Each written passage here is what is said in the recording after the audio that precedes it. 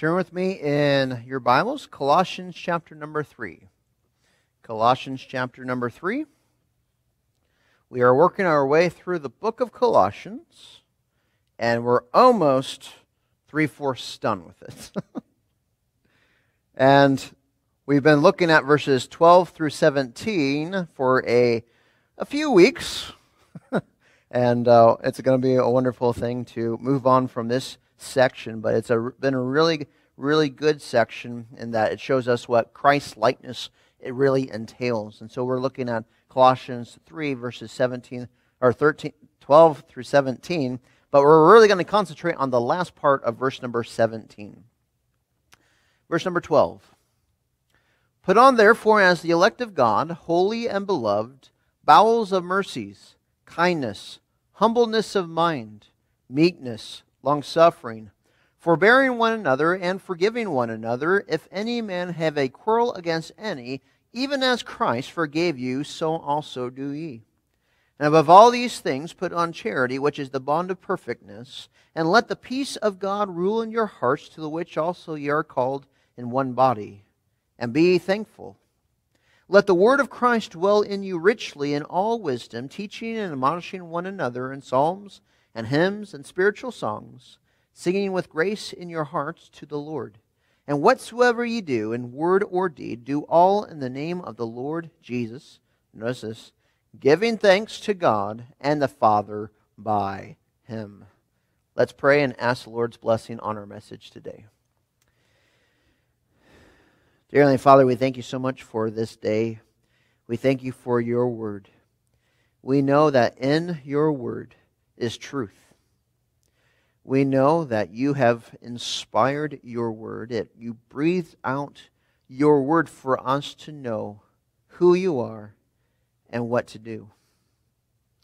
And Father, we ask you today to teach our hearts, to help us, even though times are, are hard right now. We ask you to encourage us through your word. And if there's anybody here that is not saved, may you show them Christ. And may they get saved today. Father, help me as I speak and bring forth the message. May it be exactly what you want me to bring forth. Help us to hear with the ears that we have, spiritual heart, and may we take in your word. I do ask all this in Jesus' name. Amen. I love the fall. Amen. That is my favorite season of all the seasons that we have, especially in Florida. You might say, hey, we're in Florida. We only have two seasons hot and hotter. not true. Not true. I have lived my almost my entire life in Florida. Since I was 12 years old, I have lived in Florida, and I've lived in every single region of Florida. Maybe not the Northeast, but definitely the Panhandle. And so I have lived in South Florida. If you think it's hot here, whoa, you don't really know what hot is until you go down south to South Florida, Fort Lauderdale, Miami area. It is brutally hot. You go outside, you start sweating immediately. Here you have to warm up for it. But, uh, but then I lived uh, some years in Pensacola, getting my, my undergrad degree and, as well as my master's. And there, oh, the winters, it's cold. you might say, well, it's Florida. It can't be cold. It was cold.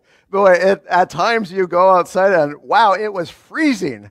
And uh, lo and behold, I had to work early in the morning. I would go out to my car and, uh, okay, I'm, I'm going to okay, get to work on time and everything will be good. And I looked at the car. I'm like, oh, there's ice on the car. Okay, um, I don't have an ice scraper like those that are up north. So I'm like, okay, let me think. Um, okay, water. That should do it. So I go inside, I get a cup of water, I go outside, I throw it on the windshield. I'm like, okay, that did something. And so I go back inside, get some more water. By the time I got back out, it had refroze. And so I thought to myself, well, this is no good. Uh, I have learned from them that that's probably not the best idea. Uh, or it's better to have it running uh, for a while, defrost it, And uh, then eventually, one time I, I tried that and it didn't defrost. I'm thinking, what is wrong with my car? Well, the button for defrost was not pushed. but I love the fall. It's not cold here. Uh, it's nice and cool in the mornings. You go outside, and the feeling is, oh, it's different. It's a little brisker. It's a little nicer. And I love the fact that, okay, it doesn't rain much, and so my grass could be left alone. I don't have to mow it all the time. Uh, and so right now my grass is nice and crunchy. I, I, you know, my parents came in town yesterday, and I just went out to see them, and I felt the grass. I'm like, ooh, crunchy grass. I like this. This is great. I love the fall. It's, it's great. I learned something new when I went back to South Lake Hospital about the fall, and uh, because they said a word that I was like, I have no idea what you're talking about, because we're going to have this big, big thing that we had Friday, and we're going to get 60 dozen donuts. Boy, everybody was sugared up that day uh, at South Lake Hospital. It's for the entire employees of the hospital. And then my director said, Yeah, and we're also going to have wassail. What? what is that? We're going to have some wassail. Okay, that didn't answer my question. What is that? It's wassail. Okay, what is that? And they said, well, it's apple cider mixed with a lot of spices and, and it's served hot. And, and it, well, it's like, okay, that sounds good, but it's even funner. It's funner. More fun to say. I always get tripped up by that one. It's more fun to say wassail. You know, uh, so on Friday we had our, our time of uh, employees, and so we got I got the boxes of donuts, I got my thing of wassail, and uh, my director said, "Okay, you're you're the one to distribute it to our, our food service." I'm like, "All right, no problem." So I go in and I said, "Who wants some wassail?" And everybody's looking at me kind of funny. You want some wassail? What is that? And then so I explained it, and it was a fun time. I, I love to say the word wassail. I just that's really funny to me. Uh, so the fall, it, it's a wonderful time, and one thing that I look forward to especially is in November, of course, is Thanksgiving. I'm not going to start talking about food because it's beginning of my sermon. and I don't need you to think about, man, I'm really looking forward to lunch. But Thanksgiving is a great time because of the fact that, well, it's one of those uh, holidays that we have that has not been quite too much tainted by the things of this world. Like Christmas, I, I'm not really excited for Christmas on one hand because I know, okay, it's all about Santa Claus for the world around me. And if I say I don't teach my kids Santa Claus, they kind of, wow, child abuse. You know, that's, that's terrible. One person actually came to me and asked me, terrible thing. I said something about Santa Claus to your kids, and they said, we don't believe in Santa Claus. It was like the worst thing ever to this person. I'm thinking, yeah, Santa Claus isn't the reason for the season, it's Christ. And so all these different things about certain holidays, yeah, they're fun. They're, you know, the gifts, the tree, the, the decorations. My wife tells me that we're going to put lights on, on the house that we just bought. we'll see. uh, but, but in all reality, Thanksgiving is one of my favorite holidays because it's a time to be thankful for the things that you have. It's not time for, okay, I want to get, get, get, get. That's next day, Black Friday, which who knows? With coronavirus, I've heard that Black Friday has been canceled, but I don't know. I'm not really sure about that. Uh, but yet, Thanksgiving, you should be thankful for all that you have. But on the other hand, if you're going to be thankful, you need to be thankful to someone. It's like my wife does something special for me. I'm thankful for that she did something like making me a, a, wonderful breakfast, you know, French toast and eggs and okay, um, stop talking about food. But the thing about it is that we are thankful for something, but really we're thankful to someone for what they have done for us. And over and over and over again, for us as Christians, we need to be thankful to God. Over and over again. That's a wonderful way of witnessing to somebody. Uh, at work, I'm going to talk about Thanksgiving a little bit, and might open the door for are you thankful to someone, not just for something? And so it might be giving me opportunity to do that. The greatest day I found to witness is St. Patrick's Day. That's right. It's St. Patrick's Day because they have because I say to them, "Man, this is my favorite holiday." And they all look at me like I'm crazy. Why is St. Patrick your favorite holiday? I'm like, "Here's the story of St. Patrick. He was a person that got into bondage, became a slave to the Irish. He's not originally Irish, he's actually British. So he became a slave to the Irish. Then he escaped. He found Christ, forgave the Irish, went back to them as a missionary. I love the story of St. Patrick. I love it. So, being thankful, we'll get back onto Thanksgiving here. Being thankful is what we need to be as Christians. And so we see here in Colossians chapter 3, verse number 17, I'm just going to read the whole verse. And whatsoever ye do in word or deed, do all in the name of the Lord Jesus, giving thanks to God and the Father by him. So we're going to look at today really the book of Colossians to see where we have been, to say what things should we on a regular basis be thankful for, even though at times we go through a lot of trials in life. You know, since I got saved, I have had probably more trials after I got saved than before because I didn't have to worry about uh, the different things uh, of the of being good, rather than okay, I, I, need to do what God wants me to do. I need to pray as I should. I need to read the Bible. I need I need to memorize God's word in my heart so I'm not sinning against Him. All these different things I didn't care a lick about before I got saved. So a lot of things happen after I got saved, and I've been saved for 21, almost 22 years now. And so, with all that to say, we need to be thankful even in the times of trials, even in times of tribulation, we ought to be thankful to God. And here are three different subjects that we're going to need to look at today to remind ourselves to be thankful to God over. First of all, number one is to thank thankful to God by Christ for the simplicity in salvation. For simplicity in salvation. Turn with me to Colossians chapter number 1. We're going to be at Colossians chapter number 1 for this first point. We're going to be looking at three, verse number 3, verse number 8 through that. And so we say, We give thanks, verse number 3, to God and the Father of our Lord Jesus Christ, praying always for you, since we heard of your faith in Christ Jesus and of the love which ye have to all the saints for the hope which is laid up for you in heaven, whereof ye heard before in the word of the truth of the gospel, which is come unto you as it is in all the world, bringing forth fruit as it doth also in you, since the day ye heard of it and knew the grace of God in truth. As ye also learned of Epaphras, our dear fellow servant, who is for you a faithful minister of Christ, who also declared unto us your love in your and the Spirit. So we see right here, it reminds us, Colossians chapter 1, the fact is that one day somebody came to town in Colossae. Somebody preached the gospel to those in Colossae.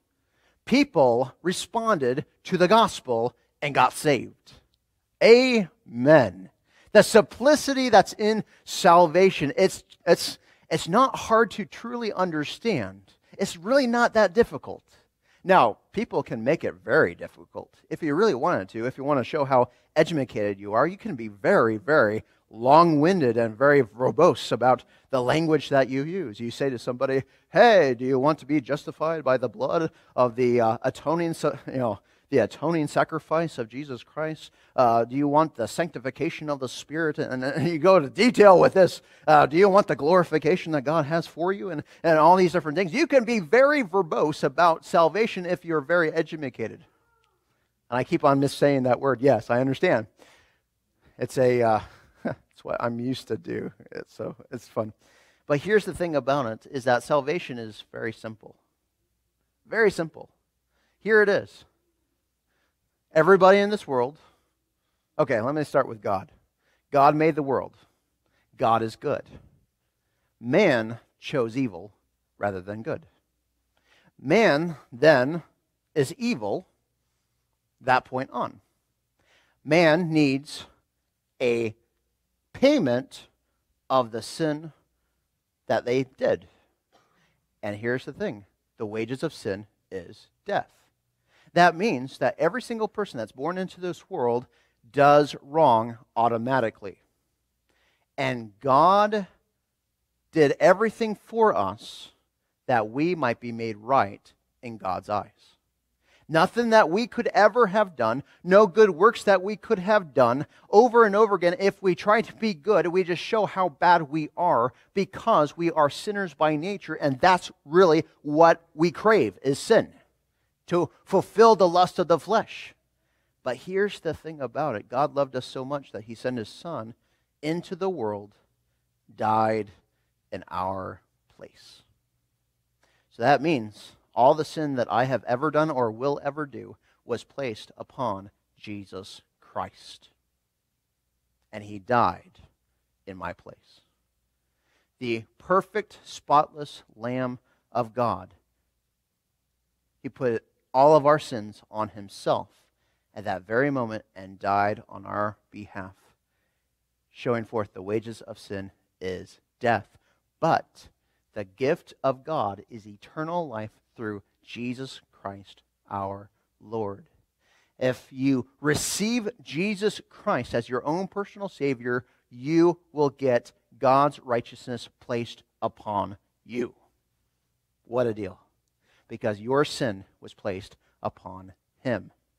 He can rightly forgive you of all the things that you have ever done and will ever do, and give you life, life eternal. What a great deal. It's like going to somebody and saying, Okay, I, I see that you have a terrible disease, that you are going to die if this disease is not cured. And guess what? Here's the cure.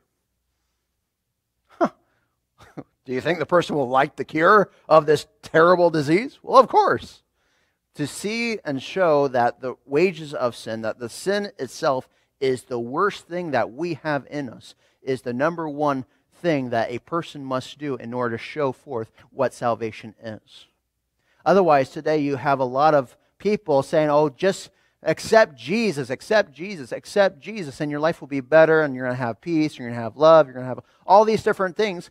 It's true if you put your faith in Jesus Christ that you will get those things as the fruit of the Spirit, but that's not the that, that's not the uh, motive of how why we get saved. It's the fact that I am lost, I am blind, I am dead in my trespasses and sins, and if that doesn't correct itself, I'm going to die and go into the lake of fire to pay for all my sins for all eternity. It's serious. But the grace of God given through Jesus Christ. We put our faith in Jesus, we get his righteousness. Oh, it's amazing. We get the forgiveness of sins. Before God, I know how much of a wretched sinner I am, only a little bit. God knows everything. But yet, before God, he sees me and he sees Christ. That's because when he saw Christ 2,000 years ago, he saw me. Amazing the simplicity of the gospel. Praise the Lord that at one point in time, you and I were in that lost condition, and then somebody told us about Jesus. Praise the Lord. Thank the Lord that He sent somebody on in your way. I don't know how many people it took to, to have me see what the gospel was and understand quite significantly that is for me all my life long. I was at church. I, I, I was at church every, every time that my, my parents were, I were there. Uh, I probably wasn't in the right place at times because I would sneak off and do my own thing, uh, but they didn't know that until right now. well, that's okay. Um, but yet, all my life long, I heard Jesus. I heard Jesus died for me. I, I heard that over and over and over again. I saw the Jesus movie from the 1980s. I think it's 1980s, 1970s. That Jesus of Nazareth movie. I saw that every single year for Christ, for Easter. I saw that every single year. I could quote it. You know, I, I had, uh, you know, times with my mom and my brother as we went through uh, the Bible and we talked about it before we went to, went to school. I understood all that. I had Sunday school teachers. I had youth pastors. I had pastors tell me the good news about Jesus Christ. And then one day, I accepted it. Praise the Lord. I was 12 years old. I was in public school. I was in the middle of computer lab, ready to go home. And then all of a sudden, I understood the gospel. It, the light flickered and it turned on. I'm like, oh, Jesus died for me. He didn't just die for the entire world, He died for me. I have to accept him. All along, I knew Jesus died for the world. I knew Jesus died for sins. I knew everything about that. Jesus died for me. And I personally received him as my own personal Savior. I got saved that day. Praise the Lord. Thank the Lord for the simplicity that's in salvation, that any person, whether little child or old adult, can get saved. And as long as they are living, there is still. And so we see the simplicity. We need to thank God by Jesus Christ that the simplicity of the salvation. But secondly, number two, not only that, but be thankful to God in Christ for the reality of redemption and reconciliation. Now, those are some big words here. Notice with me in verse number 12 of chapter 1 giving thanks unto the Father, which hath made us meet to be the partakers of the inheritance of the saints in light. Boy, that's a lot of. what does that mean? now, we went through this once before, uh, but understand that at one point in time, we, as specifically Gentiles, those Jews that understood the gospel, got saved. Now they're going into the world to, to teach the Gentiles how to be saved. Now, us Gentiles, I don't know if anybody here is Jewish. I am not, as I found out through my DNA study through uh, Ancestry.com, if it is correct. Who knows? They might have had a you know, sheet in front of them, bubble gum, and just, you know, you are, okay, yeah, you are from, you're from Antarctica. Well, that's not helpful, you know. Uh, but yet we are meet to be partakers of the inheritance. The inheritance there is Jesus Christ himself and uh, with the saints in light. So we have Jesus Christ, verse 13, who hath delivered us from the power of darkness and hath translated us into the kingdom of his dear Son. Praise the Lord. What that means is no longer am I under the power of Satan, no longer am I under the God of this world, but rather I am now transported, translated into a new kingdom with a new ruler, with a new set of values, with new everything. I'm in the kingdom of his dear son. Praise the Lord. This is what happened when Jesus did what he did for us that he made us meet to be partakers of the inheritance of the saints of light, who hath delivered us from the power of darkness and translated us into the kingdom of his dear Son, in whom we have redemption through his blood, even the forgiveness of sins. If we don't have redemption, then we are not saved. Redemption is here, here's what redemption is, okay? You had a debt, somebody paid your debt. He redeemed you. We had the debt of the wages of sin on our life. Jesus Christ died and spilt his blood so he could pay for our sin. For without the shedding of blood, there is no remission of sin. So he had to die in our place, shed his blood, and now he gives us that, and the forgiveness of sin is ours. Praise the Lord for redemption. Ah, oh, amazing. So there's so many things we can point to here in this text. In verse number 15, who is the. Okay, so verse 15 through 20, it talks about him as God of gods, and he became man. Notice with me, verse 15, who is the image of the invisible God, the firstborn of every creature, for by him, that's Jesus Christ, were all things created that are in heaven and that are on earth, visible and invisible, whether they be thrones or dominions or principalities and powers. All things were created by him and for him, and he is before all things, and by him all things consist. And he is head of the body, the church, which who is the beginning, the firstborn from the dead. In all things he might have the preeminence.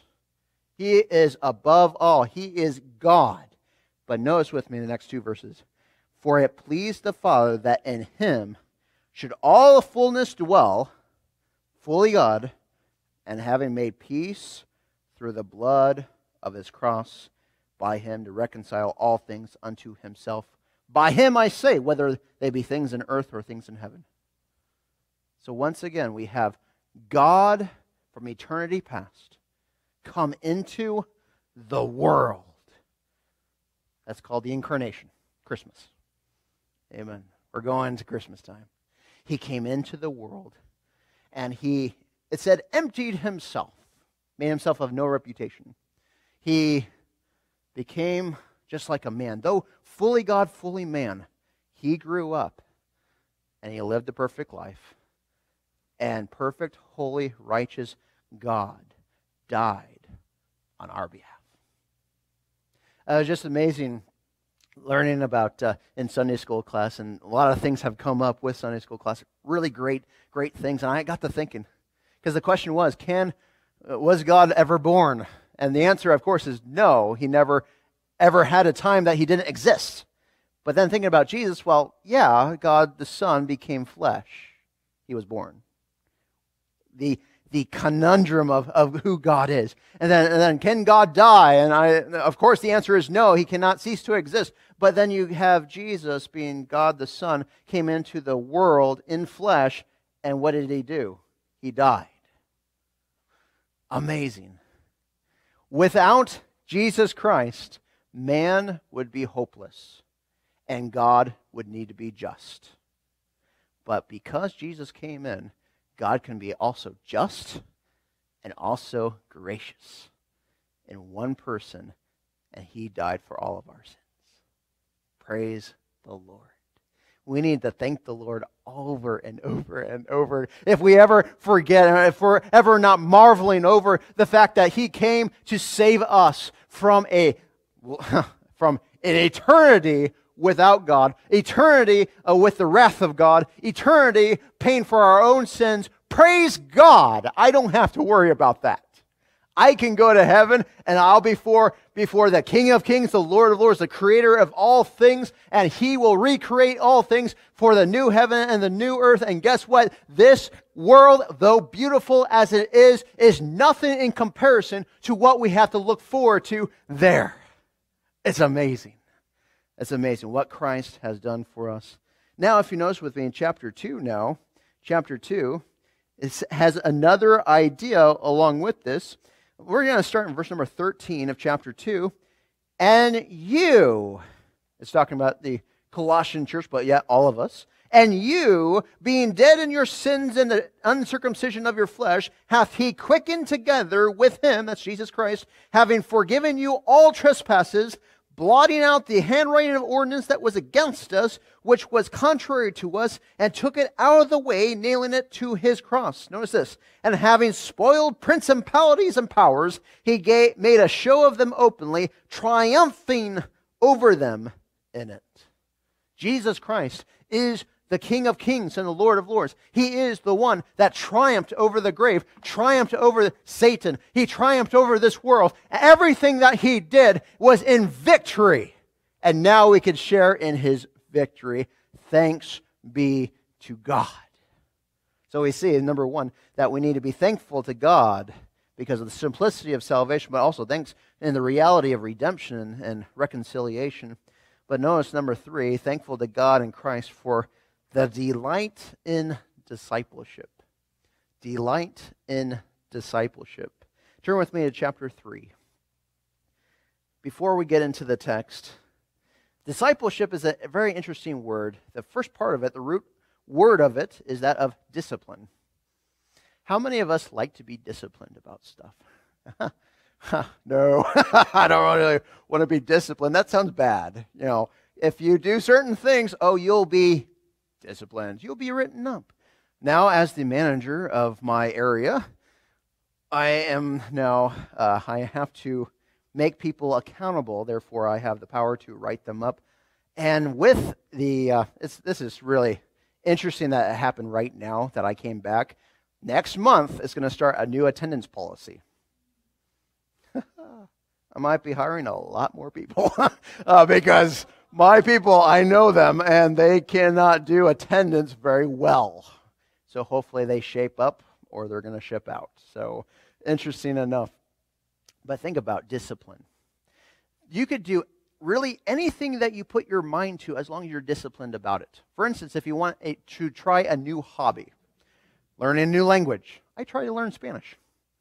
I wasn't disciplined about it, so I did not learn that language. Uh, another thing that I'm not disciplined, though I should be very disciplined about, is exercise. Uh, for, as you can tell, I am a very round, well rounded individual. Um, in fact, one person recently uh, looked at me very seriously, like, you know, you have not gained, or you have not uh, lost anything since you went back to work. I'm like, yeah, I, I know, I know. I'm in the process. But really, I have no excuse because I have all the head knowledge I ever need to work out. Oh, I have looked up workout routines. I have, I'm, I know exactly what to do. I know how hard I should, should do three times a week or, or how many hours or how many minutes or whatever. I know what I need to do. But I'm not disciplined in order to do it. As I'm sure that some of you uh, might attest to in your own life. But yet, a disciplined life. For us as Christians, we need a disciplined life, and that's what we should have in chapter 3. It's all about what we should be doing now. In verse number 1, I love these verses. I'm just going to read them. If ye then be risen with Christ, praise the Lord, seek those things which are above, where Christ sitteth on the right hand of God. Set your affection on things above, not on things of the earth. I love that. Don't set your affection on the things that will perish. Don't set your affection on things that won't matter for eternity. Put your eyes to Jesus Christ who is raised on the right hand of the Father. He is risen with Christ. We all are, if we're in Christ. Seek those things which are above, where he sitteth on the right hand of God. Set your affection of, affection of things above, not on things of the earth. I have to read the next two verses because these verses are my, one of my favorite verses in Colossians. Just bear with me. All right, verse number three. For ye are dead, and your life is hid with Christ in God. Amen. When Christ, who is our life, shall appear, then shall ye also appear with him in glory. Praise the Lord. I'm going to appear with him in glory when he returns. Praise the Lord. But now here's the things that we ought to do because of that. Because of the reality that Jesus Christ will come back. Here's what we ought to do. Mortify therefore your members which are upon the earth fornication, uncleanness, nor an affection, evil concupiscence, and covetousness, which is idolatry for which things sake the wrath of God cometh on the children of disobedience. Now, all of these I have gone through. If you want to know what I have said about this, look it up on YouTube, Chapel Baptist Church in Clermont, and you have all the recent videos, and this is part of it. Uh, verse number seven.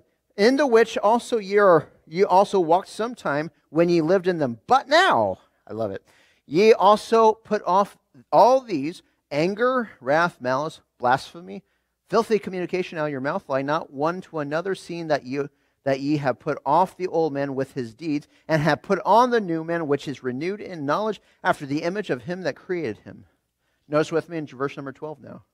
Put on, therefore, as the elect of God, holy and beloved, bowels of mercy, kindness, humbleness of mind, meekness, longsuffering, forbearing one another, forgiving one another, if any man have a quarrel against any, even as Christ forgave you, so also do ye all these different things, it's really for our good. Every single thing that God commands us in His Word and what we just read is all for our good. If we let sin reign in our mortal bodies, if we're in Christ, we shouldn't let that happen. We're beyond that. But yeah, a lot of times we look at the things that we used to do boy, that looks kind of appealing. Boy, that looks really good. I think to myself of, of buffets. You know? buffets are interesting places to go, especially now with uh, COVID and everything. They're all shut down, or, or, some are active, but whatever. But yeah, look at the things that uh, you should have. You know, you got the salad bar, got all the good for you foods, you got all the vegetables and all that. I don't want that. I want the ungood for you stuff. I want the pizza. I want, uh, oh, I want the ice cream as much as you can eat. But that's not good. See, it's an interesting thing. Automatically, we want that which is not good for us. That's the old nature. But now we're renewed in the image of Christ. These things need to be the new reality in our lives. We need to be disciplined in these things. Now, this is not the sermon to, to condemn anybody that has not been perfect, because none of us are perfect. Amen. Especially me, most of all, in my mind. Because I know exactly what I do. I don't know what you do. I know what I do and how bad I am. Um, but reality, we're not perfect, but God is good. He can help us to get there. Now, we'll never be perfect this side of eternity, but the closer and closer we are with Christ, closer and closer we are with God, closer and closer we are to what God's word says, better off we are. Better off in eternity we will be. But here's the thing that we should think of thank the Lord for the simple salvation. Praise God. Thank the Lord for all that He did. Now, the simplicity of salvation is only the tip of the iceberg about what Jesus really did for us and everything that He had to undergo. But here's the thing about it we need to be thankful for all the possibilities that we can be like Christ. Be thankful. We have the ability through the Holy Spirit to do that. Be thankful. Be thankful. I'm sure that some of us, you would say, well, I have not been totally thankful during this time. Maybe there's a lot of tribulation in your life. Everybody has their own pain, their own sorrow. But maybe it's a good time today to just reflect about being thankful to God. For God has been good, He lets us live, He has given us everything that we need in Christ. So praise the Lord. So maybe we should just dedicate ourselves to, to be more thankful in our days. Uh, if there's anybody here that is not saved, I, I want you and implore you. If there's anybody here is not saved, you have never trusted Jesus Christ as your own personal Savior, do it today. Receive Him today. This is the greatest time to do it, is now. Now is the time. You do not know what will happen to you after you leave these this building. Do it today. I'll ask Wanda if she, she would come. Where you at? There you are. She usually sits over there. Now she's over here. Okay. So I'll ask Wanda to come and just play a hymn for us. And may we have time of, of praying and just dedicating ourselves to be more thankful. Let's go ahead and pray. Dear Heavenly Father, we thank you for this time that you have given us to think on your word. And Father, for those of us that have been convicted about the lack of thanksgiving that we give to you, may we decide today to be more thankful. Help us to decide today to think about you more and more. Help us to choose you over the things of this world. Bless this time of prayer, I do pray.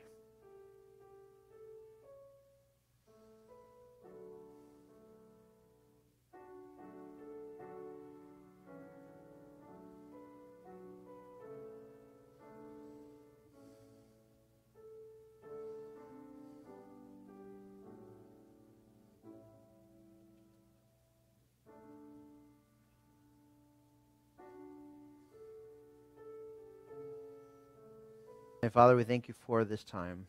And Father, help us to be more and more thankful. Help us to understand your word more. May we put that in our lives more and more and more so that our minds can be stayed about who you are and how good you have been to us. Help us not to focus on the things of this world, the tribulations that come our way. Yes, they will happen, but yet greater are you who can get us through it. Greater are you and, and all the things that you have given us in order to be patient. We thank you for the fact is that we can be more like Christ every single day as we submit to you. Help us to do so.